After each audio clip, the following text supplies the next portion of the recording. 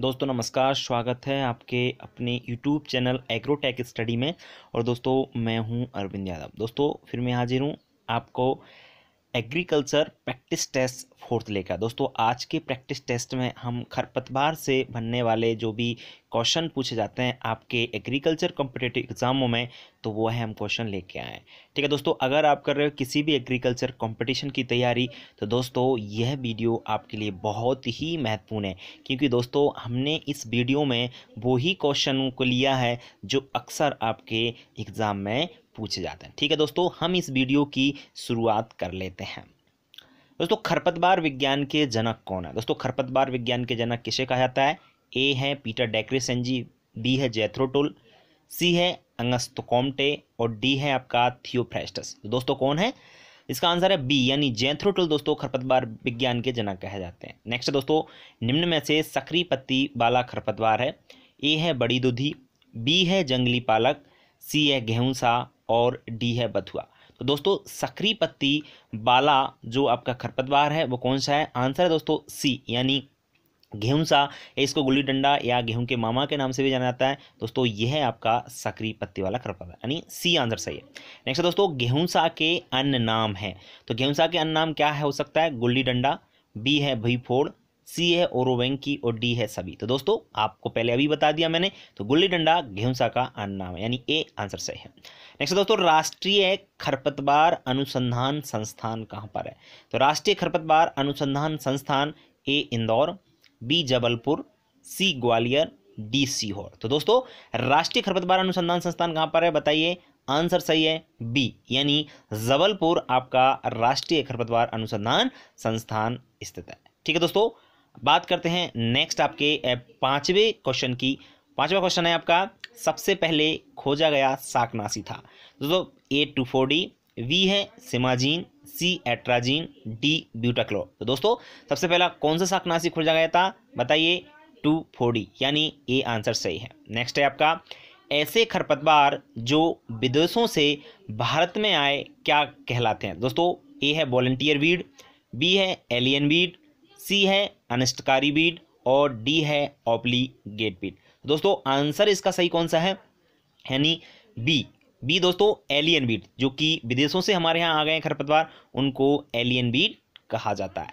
आगे बात करते हैं दोस्तों नेक्स्ट नेक्स्ट है आपका लेंटाना कैमरा सर्वप्रथम भारत में किस देश से आया था? लेंटाना कैमरा जो खरपतवार है, वो सर्वप्रथम भारत में किस देश से आया? ए है अमेरिका बी है श्रीलंका सी है कनाडा डी है ऑस्ट्रेलिया। तो दोस्तों लेंटाना कैमरा कहाँ से आया था? आंसर इसका सही है बी यानी श्रीलंका। श्रीलंका से सबसे पहले आपके यहाँ लेंटाना कैमरा आया था। नेक्स्ट है दोस्तों अमरेंथस का पौधा कितने बीज उत्पन्न करता है? ए वन थाउज़ेंड वी है एक लाख छियानवे हज़ार सी है चालीस हज़ार डी है अड़तीस हज़ार। तो आंसर इसका सही कौन सा है?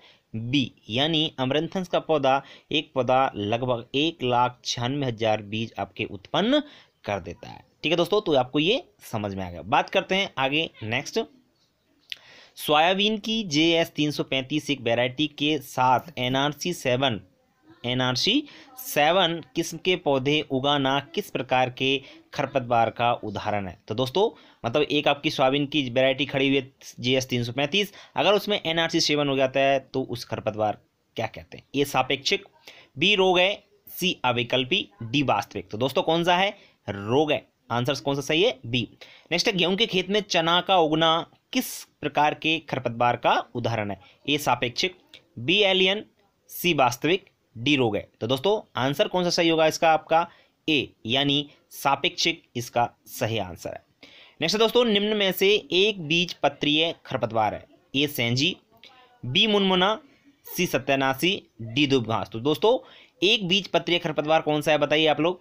तो आंसर इसका सही है दोस्तों डी, यानी दूब घास एक बीज पत्रीय खरपतवार होता है। नेक्स्ट दोस्तों, निम्न में से परजीवी खरपतवार है।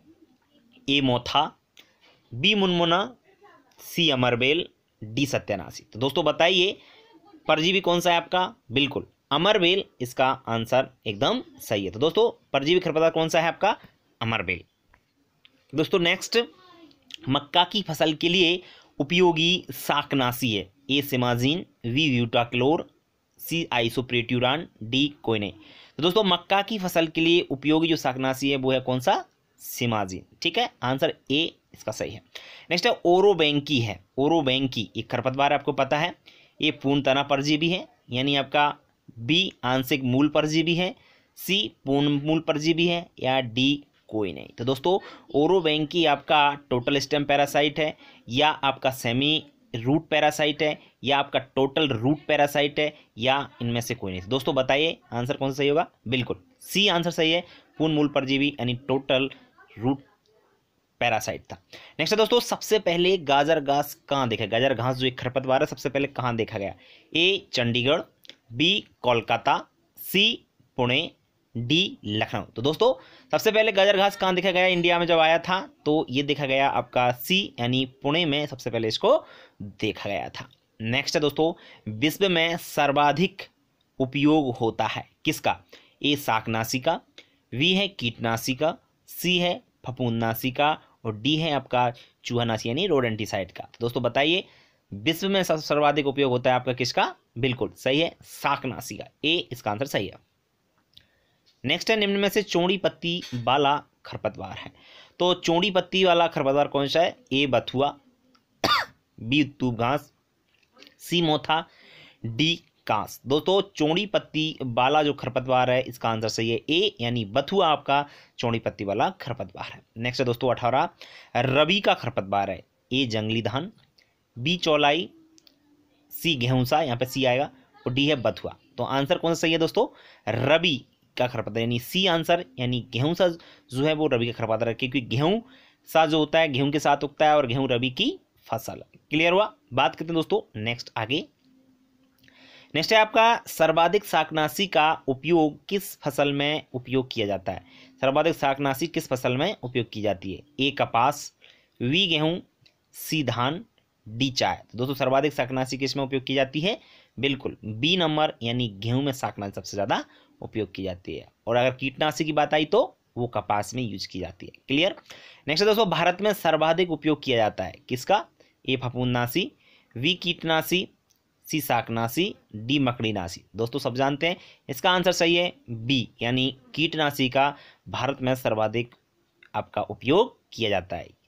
बात करते हैं दोस्तों नेक्स्ट आपके आगे क्वेश्चन ट्वेंटी वन की। खरपतवार किसी फ़सल के साथ प्रतियोगिता करते हैं। किसके लिए? स्थान बी है नमी सी है पोषक तत्व डी है सभी। तो दोस्तों, इसका आंसर सही होगा डी यानी सभी। खरपतवार आपके स्थान, नमी पोषक तत्व तीनों के लिए प्रतियोगिता करते हैं फ़सल के साथ। नेक्स्ट दोस्तों, ड्रोप्सी नामक बीमारी का संबंध किस खरपतवार से? ड्रोप्सी का मतलब होता है गंजापन। दोस्तों, यह है आपकी बीमारी गेहूंसा के कारण बी है लेंटोना सी है गाजर घास और डी है सत्यानाशी। दोस्तों इसका आंसर सही है डी सत्यानाशी। दोस्तों सत्यानाशी के जो बीज होते हैं सरसों के बीजों के साथ मिल जाते हैं और वो तेल में जब पेरा जाता है तो तेल में आ जाता है इसका तेल और उसका तेल यूज़ करने पर लोगों को ड्रॉप्सी नमक यानी गंजापन हो जाता है। नेक्स्ट दोस्तों एट्राजीन है। ए है कबकनाशी बी है साकनाशी बी है कीटनाशी सी दोस्तों सी है कीटनाशी और डी है मकनीनाशी तो, तो दोस्तों एट्राजीन क्या है? आंसर सही है बी यानी शाकनाशी इसका आंसर सही है। नेक्स्ट दोस्तों, धतूरा व मकोए किस कुल के खरपतवार है? धतूरा व मकोए, दोस्तों, ए है ग्रेमनी, बी है कंपोजिटी, सी है सोलेनेसी और डी है मालवेसी। तो दोस्तों, धतूरा और मकोए, बताइए आप किस कुल के खरपतवार हैं? बिल्कुल, आंसर सही है इसका, सी, यानी सोलेनेसी कुल के आपके धतूरा एवं मकोए खरपतवार है। ठीक है दोस्तों, बात करते हैं आगे नेक्स्ट गाजर घास का अन्य नाम है। तो गाजर घास का अन्य नाम क्या है दोस्तों? ए बरू घास। बी है खस घास सी है कांग्रेस घास डी सभी। सब जानते हैं, इसका आंसर सही है सी यानी कांग्रेस घास ठीक है दोस्तों, ये 25 क्वेश्चन आपके लिए बहुत महत्वपूर्ण थे। दोस्तों, अगर 25 में से आप 25 ही कर लिए, दोस्तों, बहुत अच्छी बात है। अगर आपने पहले बारे हमारे सभी वीडियो देखे हैं, इनका आप थ्योटिकल पढ़ा है, पूरा पढ़ लिया है तो ये आप ओटी पूरा कर सकते हो। पहले आप थ्योरी पढ़िए देन आफ्टर आप उसका टेस्ट ज़रूर करें। ठीक है दोस्तों बीस से अगर कम किए तो थोड़ा आपको पढ़ने की आवश्यकता है। दोस्तों, अगर आप तैयारी कर रहे हो किसी भी एग्रीकल्चर कंपटीशन की तो दोस्तों, आप जुड़े रहिए हमारे यूट्यूब चैनल एग्रोटेक स्टडी से।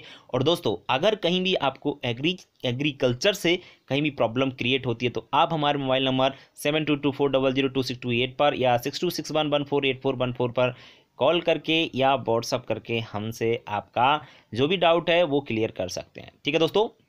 वीडियो कैसा लगा? अगर वीडियो अच्छा लगा तो कमेंट बॉक्स में लिखकर ज़रूर बताएँ। दोस्तों, और वीडियो को लाइक करें, अपने दोस्तों को शेयर करना बिल्कुल ना भूलें। और दोस्तों, अगर आप चैनल पर नए हैं तो चैनल को सब्सक्राइब ज़रूर कर लें। सब्सक्राइब करने के बाद बेल आइकन को दबाना बिल्कुल ना भूलें, जिससे दोस्तों आपको नए वीडियो का जो नोटिफिकेशन है, वो आपको मिलता रहे। ठीक है दोस्तों नेक्स्ट वीडियो की बात करेंगे हम कल। आज के लिए इतना ही दोस्तों, नमस्कार।